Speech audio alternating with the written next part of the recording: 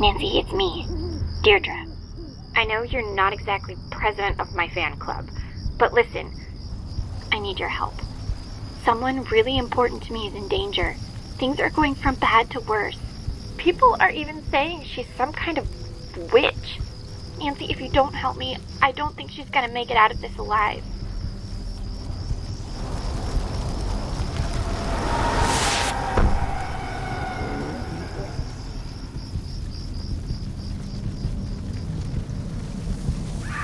Join me on my next adventure.